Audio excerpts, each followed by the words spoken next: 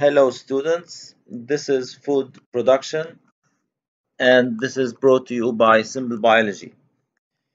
Please subscribe, like and share this video to get more videos. Learning objectives for this lesson are State how modern technology has resulted in increased food production. Describe the negative impacts to an ecosystem of large-scale monocultures of crop plants describe the negative impacts to an ecosystem of intensive livestock production, discuss the social, environmental, and economic implications providing sufficient food for an increasing human global population, and discuss the problems which contribute to famine, including unequal distribution of food, drought and flooding, increasing population, and poverty. And let's start. This traditional, this traditional farmer using traditional tools. Now, if you compare it to modern technology tools, this farmer is using modern technology tools. You can see clearly that the difference in the crop yield and even like the large space that can be uh, grown using modern technology tools. So agricultural machines use larger areas of land and improve the efficiency using these machines make the farmer produce much more crops and can use more land for growing his crops. Another factor that affect food production or crop yield is chemical fertilizers. Those chemical fertilizers will be added uh, to the soil and then this soil will pro produce much more nutrients for the plants so the plants at the end will give me much more yield. So chemical fertilizers improve the yield. Those chemical fertilizers they contain nitrogen they contain potassium and phosphorus and all these three are required for plant growth for making DNA for making proteins and for making ATP which is the energy currency in the cells. Another factor that help uh, another factor that help here the farmers is insecticides. Now the insecticides they kill the insects. They kill pests and insects that harm plants. Those insects that colonize on plants and uh, use plants as their source of food they make the plants sick and of course they will decrease the yield now insecticides kill these insects and this improves the quality and the yield as well. Like a cousin of insecticides are herbicides. Herbicides, those kill herbs from the names herbicides, so they are sidal to the herbs. Those herbicides, they inhibit the reproduction and the growth of weeds. Weeds are the unwanted plants that live beside our plants, beside our crops. They compete for the, with them for food, for nutrients, and for water from the soil. Now, these herbicides are of two uh, are of two types: selective and non-selective.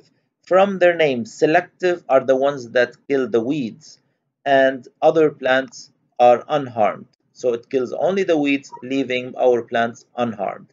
While the non-selective herbicides, as their name indicates, they are non-selective. They kill everything. They kill the plants, the crops I mean, and the weeds that are close to them. So technically we use the selective herbicides. So as a result, herbicides herbicides reduce plant competition with weeds. If there's reduction in plant competition, means nothing is competing with plants for uh, the food and nutrients from the soil and water as well. So they will grow much better, will produce much more uh, crops. And as you can see here, the modern technology is helping a lot in uh, this process. Now, another factor is selective breeding. Selective breeding. This selective breeding is uh, is this selective breeding is uh, used in livestock and in crops. So selective breeding improves the production by livestock. And I'll give you an example. For example, look at this, look at this cattle. This is Brahman cattle. It has good resistance to heat, but poor beef. And on the other side, I have this cattle. That's the English shorthorn cattle. This has good beef, but poor heat resistance. Now, what if we cross these two together? A crossbreeding between these two cattle results in this type of cattle, which is called Santa Gertrudis cattle. This cattle has good heat resistance and good beef. So it has the good things from both cattle. So this is called selective breeding. So we select the cattle that can interbreed in order to produce a cattle which gives us the best characteristics that we want, high quality and high uh, production of meat. Selective breeding also can be done for plants, so we can improve plant crops. So plant species with desired characteristics are chosen to cross-pollinate and reproduce. So as a result, the genes, the genes from these plants uh, are passed on to offspring and we keep repeating the process until we get the highest quality of crops that we want. Now we will talk about monocultures, the advantages of monocultures of cropland and also the advantages, the disadvantages of monoculture. Monoculture means you're growing the same plants over and over and over every year. So growing the same plants is monoculture. And this monoculture practice is widely spread all over the world. And this results in the production of massive production of wheat, massive production of uh, rice, massive production of potato and other plants. But let's look at the advantages and this disadvantages of monocultures. Monocultures have advantages like here specialized production. Those farmers are specialized in producing let's say wheat plants wheat wheat seeds. So this is specialized.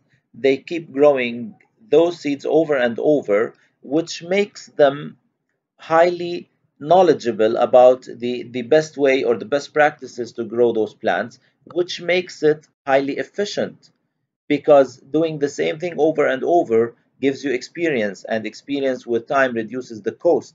So they know the best practices to, to grow these plants and this reduces the cost. Of course if you are dealing with one plant this makes them simpler to manage. And of course reducing the cost from the first two options those two will end up in increasing the earnings. On the other side monoculture has many disadvantages. And the biggest disadvantage is pest problems because those pests, they colonize on the plants and the same plants, they are colonized by the same pests over and over. And if you are using the pesticides, this means those pesticides will create resistance in the pests. So we will have pest control problems. Using pesticides will not help with after some time. In addition to all of this, monoculture means growing the same plants, and the same plants requ requires the same uh, nutrients, the same minerals from the soil. After like few years, this will exhaust the soil. This degrades the soil, exhausts, exhausts the soil. Of course, the soil exhaustion will encourage farmers to add more fertilizers, to use more fertilizers. And using more fertilizers will pollute the environment because this will cause eutrophication when these fertilizers leak with the water to the nearby water uh, bodies like rivers and lakes and this causes eutrophication and uh, which harms the uh, marine or aquatic animals. Uh, one more thing is that degrading the soil results in plants needing more so more water because the, the poor soil cannot retain water, cannot hold water properly. So we need to add more water, to, to use more water uh, in watering plants. On the other hand, I have other disadvantage, which is it encourages overproduction of commodity crops. Commodity crops like grains, wheat, uh, maize, those commodity crops are produced on over large quantities all over the world and uh, they are because they are made of large uh, on large scale they are called commodity crops so this encourages the overproduction we produce more some countries they, they just like uh, destroy the extra uh, produce they have. This decreases biodiversity because using monoculture means growing the same plants over large areas of land. Of course, those uh, very close to each other, they are uh, cross-pollinating with each other. This means no genetic variation, and over time, this decreases the biodiversity because you are using a lot, uh, large land for just growing one crop, one, one, one species of plant. Using pesticides, using pesticides here up, it kills the bees and other pollinators because the pesticides they are designed to kill pests. And pests are insects and bees are insects so those will be killed by the pesticides. And that's another uh, disadvantage in addition to that after like all of these degradation of the soil exhaustion over some time you will have a risk of harvest loss.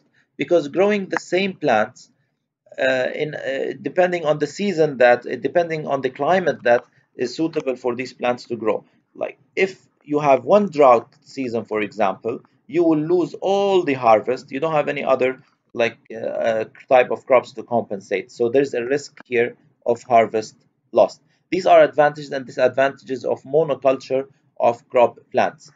Now let's move the intensive livestock production.